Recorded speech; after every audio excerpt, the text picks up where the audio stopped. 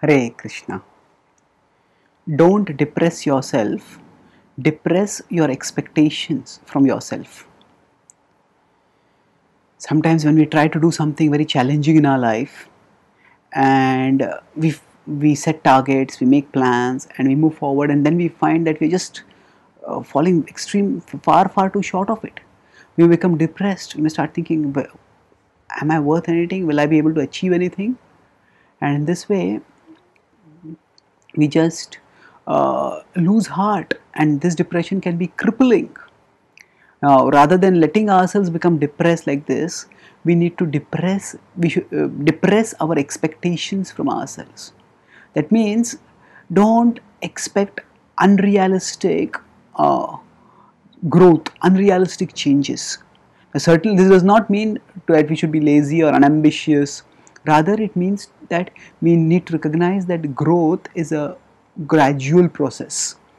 That a baby or a small child who is learning to crawl may see an olympic athlete on tv the child may want to run like that olympic athlete but child cannot just get up and start running like that.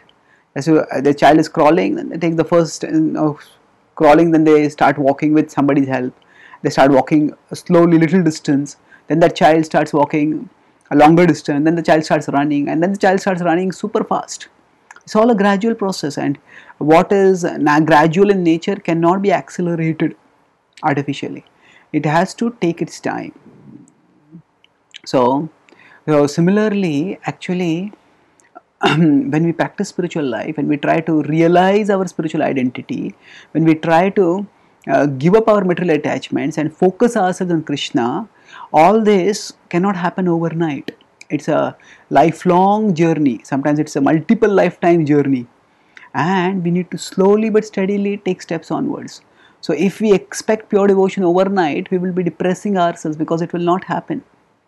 Krishna talks about this in the bhagavad gita when he says nahi jnanen sadrusham pavitramih vidyate tatsvayam yoga samsiddha kalenatmani vindati so in 4.38 he says nahi jnanen sadrusham pavitram iha vidyate. There is nothing in this world which is as pure as knowledge.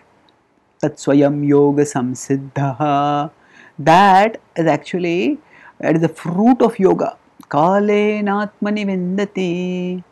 And from this as yogic realization matures one delights. Kalen atmani vindati. One delights in the self one experiences sublime happiness, spiritual happiness one experiences by the process of purification.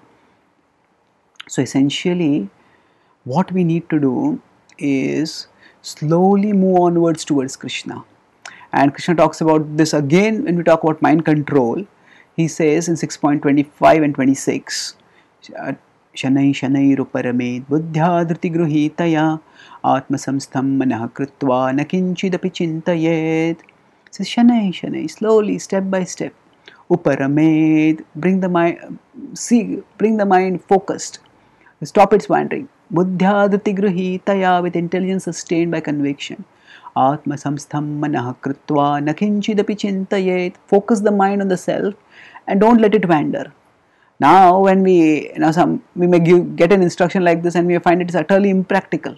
But immediately Krishna addresses our concern in the next verse. He says, Yato yato nischalati manaschanchalam tatastato niyam yaitad atmanyeva vasham nayed. So he says, Yato yato nischalati. Wherever and whenever the mind wanders, manaschanchalam that's its nature. To wander, it's the restless, it is uh, unsteady. Tatastato niyam yaitad atmanyeva vasham nayed.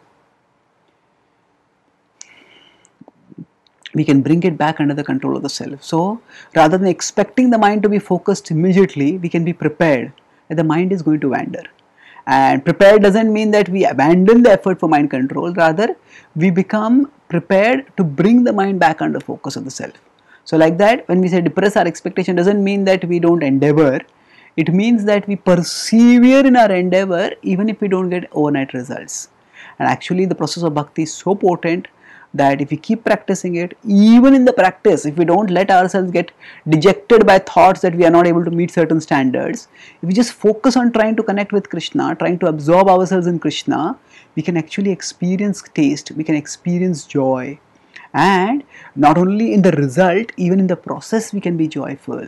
What to speak of then in the result when we'll be supremely, eternally joyful. Thank you. Hare Krishna.